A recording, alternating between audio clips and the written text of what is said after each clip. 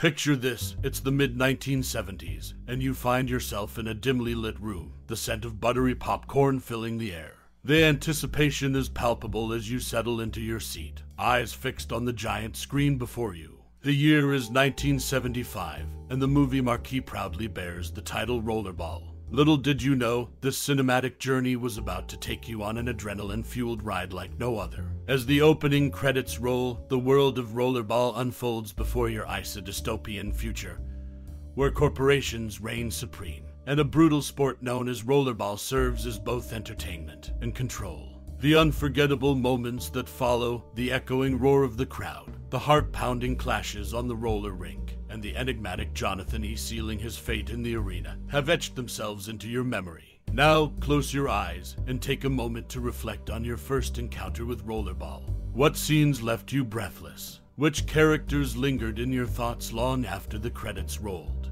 In the world of Rollerball, the line between sport and survival blurs, leaving you with a lingering sense of unease and fascination. But wait, there's more to this iconic movie than meets the eye. Let's delve into some intriguing random facts about the show that will deepen your appreciation for this cinematic gem.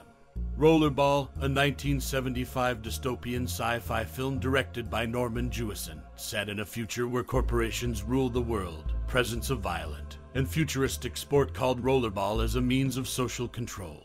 The story revolves around Jonathan E., played by James Caan, the sport's greatest player, who questions the system's oppressive nature. The film's iconic characters include the enigmatic Mr. Bartholomew, who represents the ruling corporate elite, and Jonathan's rebellious and defiant nature, which makes him a symbol of resistance. Rollerball is known for its unique blend of action, social commentary, and sports drama with thrilling roller skating sequences that captivate viewers. It's left an enduring impact on popular culture, raising questions about the role of corporations and individualism in society, while also showcasing the visceral thrill of extreme sports. In a world ever more dominated by powerful corporations, Rollerball remains a relevant and thought provoking classic.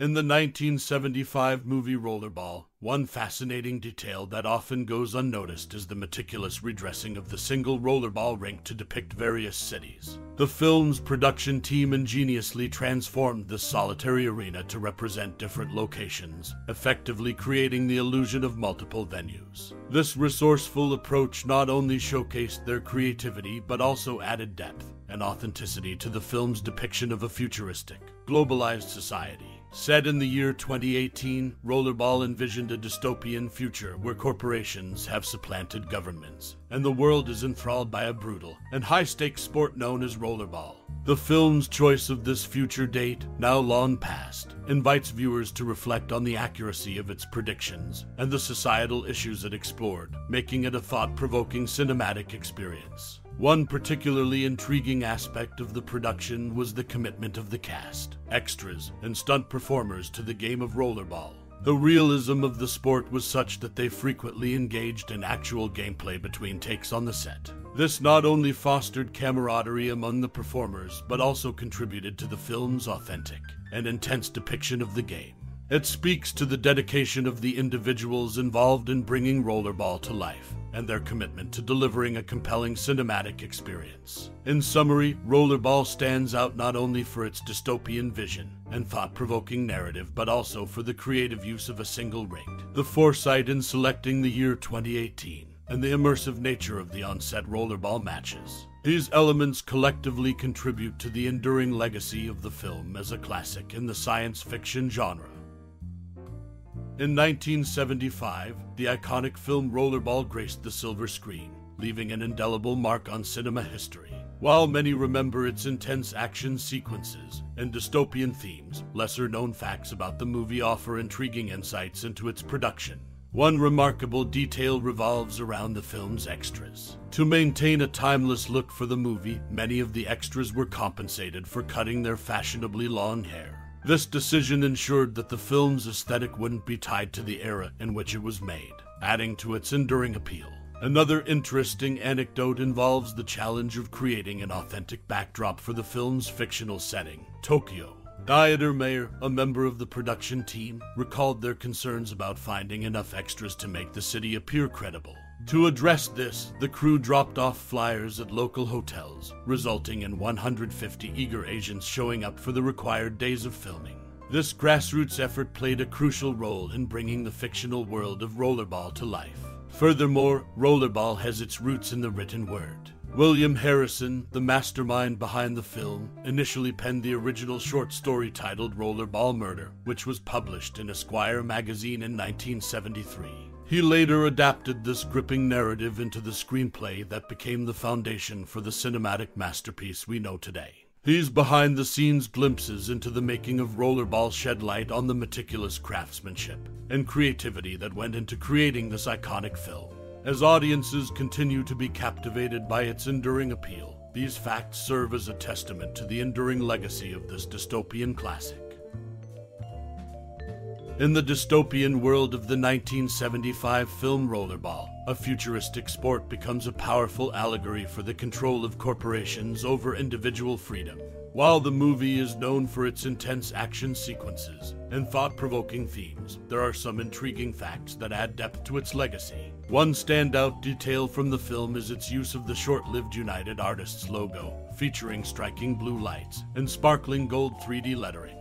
This unique logo, which would only be in use until late 1976, marked Rollerball as a pioneering production in the industry. It showcased the studio's commitment to innovative visuals, mirroring the film's futuristic aesthetics. Another fascinating tidbit involves the Tokyo Houston game depicted in the movie. During this pivotal moment, Tokyo fans can be heard chanting, Ganbare, Tokyo. This Japanese phrase translates to do your best, Tokyo. The inclusion of this chant reflects the film's attention to cultural nuances and its commitment to creating an immersive world where the sport of rollerball is celebrated across the globe. Additionally, eagle eyed viewers may notice a striking similarity between the final scene of Rollerball and the ending of Raquel Welch's 1972 film, Kansas City Bomber. In both instances, the main characters skate triumphantly around the ring, with the crowd chanting their names. This parallel underscores the enduring appeal of roller derby as a cinematic spectacle and raises intriguing questions about the influence of one film on another. Rollerball remains a significant film in the annals of science fiction cinema, not only for its thrilling narrative, but also for its visual innovations and cultural nuances. As viewers continue to engage with this classic, they discover new layers of meaning and connections to the world around them, making it a timeless piece of cinematic history. In the dystopian world of 1975 Seconds Rollerball, where violence reigns supreme in a brutal sport, one casting choice stood out as a pivotal moment in the film's creation.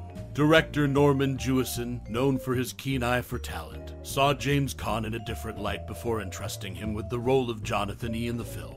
It was Caan's portrayal of Brian Piccolo, the real life Chicago Bears running back, in the TV film Brian's Song that caught Jewison's attention. In Brian's song, Caan had demonstrated his ability to convey both vulnerability and strength, a range of emotions essential for the character of Jonathan Ian Rollerball. The decision to cast Caan in this gritty sci fi thriller paid off, as he delivered a memorable performance that added depth to the film's narrative. Contrary to the whispers that swirled around the production, no lives were lost during the filming of the adrenaline pumping stunts that defined Rollerball. However, the intensity of the action did result in several serious injuries, some of which necessitated hospitalization. The dedication of the cast and crew to bring the brutal sport of rollerball to life on the screen pushed the boundaries of safety, but ultimately ensured the film's authenticity. In the liner notes accompanying the Region 2 DVD release of the movie, director Norman Jewison openly acknowledged the influence of Stanley Kubrick's A Clockwork Orange on his work. This influence becomes evident when examining the film's visual and stylistic elements. Jewison's use of repetitive zooms, classical music, and the juxtaposition of modern architecture characterized by concrete and glass structures echoes Kubrick's signature cinematic style. Rollerball remains a striking and thought provoking film of its era, known not only for its visceral action, but also for the careful choices that shaped its creation. From the inspired casting of James Caan to the daring stunts that left their mark on the cast and crew, the movie endures as a testament to the bold creativity of 1970s cinema. In the 1975 movie Rollerball, a dystopian sports thriller directed by Norman Jewison, one intriguing detail that often escapes notice is the significance of shirt numbers 1 3. In this high octane game of rollerball, these shirt numbers were exclusively reserved for the motorcycle riders, adding an element of mystique to their role in the brutal sport. But the film's fascination with numbers doesn't end there. In a captivating sequence preceding the New York game, viewers are treated to a visual tour of iconic locations worldwide. The Palacio da Alvorada in Brasilia, Brazil, the Basilica of St. Peter in the Vatican, and the towering skyscrapers of Lower Manhattan, New York, all make appearances. This eclectic selection of landmarks serves to underscore the global scale and cultural significance of rollerball in the movie's dystopian narrative. Furthermore, when examining the film's exterior shots, it's worth noting that the Energy Corporation building is not what it seems. These shots were actually filmed at the corporate headquarters of the renowned car manufacturer BMW in Munich, West Germany. The striking bowl shaped library building featured in the movie is none other than the old BMW Museum, located just a few steps to the left of the headquarters entrance. This creative use of real world locations adds depth to the film's futuristic setting and showcases the resourcefulness of the filmmakers. Rollerball, with its gripping narrative and attention to detail, continues to be a cult classic in the world of dystopian cinema. Whether it's the symbolic shirt numbers, the global tour of landmarks, or the clever use of real locations, this 1975 film offers viewers an immersive experience that still captivates audiences to this day. As we roll to the end of this cinematic journey through the 1975 classic, Rollerball, I invite you to pause and reflect on the echoes of this dystopian masterpiece that resonate with your own life. This film, set in a not so distant future, mirrors the collision of individuality and conformity, the pursuit of freedom within the constraints of society, and the indomitable spirit of one man amidst the chaos of a ruthless sport. Have you ever found yourself grappling with the fine line between personal autonomy and societal expectations? Or perhaps you've marveled at the resilience of those who dare to challenge the status quo. Rollerball's exploration of these themes continues to captivate audiences across generations. Now it's your turn to share. What memories does Rollerball evoke for you? Were there moments that left an indelible mark on your cinematic journey? Did it prompt you to question the world around you, or maybe even the role of technology in our lives? We'd love to hear your thoughts, your memories, and your reflections on this timeless classic. Thank you for joining us on this introspective voyage through Rollerball and for sharing your unique perspective. Your voice adds depth and richness to the ongoing conversation surrounding this film. Keep the dialogue alive, and let's continue to explore the timeless questions it raises together. Stay tuned for more cinematic adventures, and until next time, keep rolling through the world of film and storytelling warmly